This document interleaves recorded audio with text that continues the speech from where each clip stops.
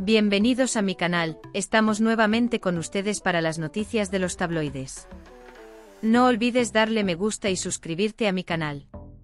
Después de suscribirse para recibir notificaciones de tales vídeos más rápido. No olvides presionar el botón de notificaciones.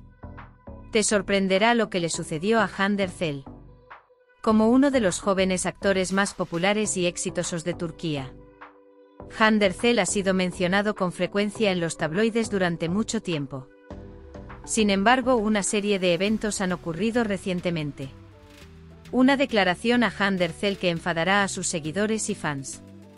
En primer lugar, se trata de la familia de Keren Bursin. Novia de mucho tiempo de Handercel. La noticia de que había una grave crisis en su relación se reflejó en la prensa si bien la pareja expresa su amor y respeto mutuo en cada oportunidad. Se fueron inesperadamente. Esta noticia molestó profundamente a los fanáticos de Hander Cell.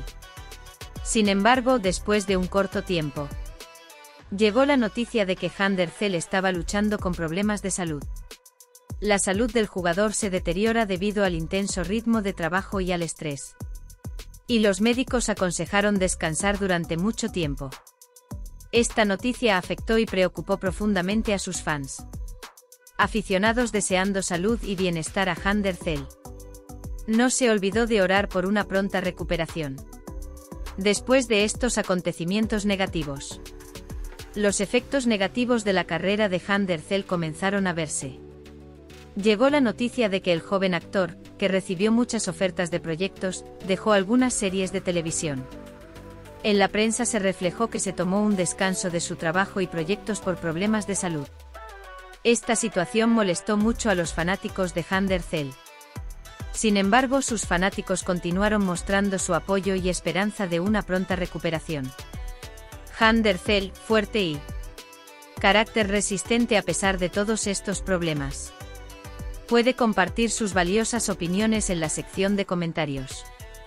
Esto fue así en nuestras noticias, si te gusta, presiona el botón me gusta y no olvides suscribirte. Nos vemos en el próximo vídeo.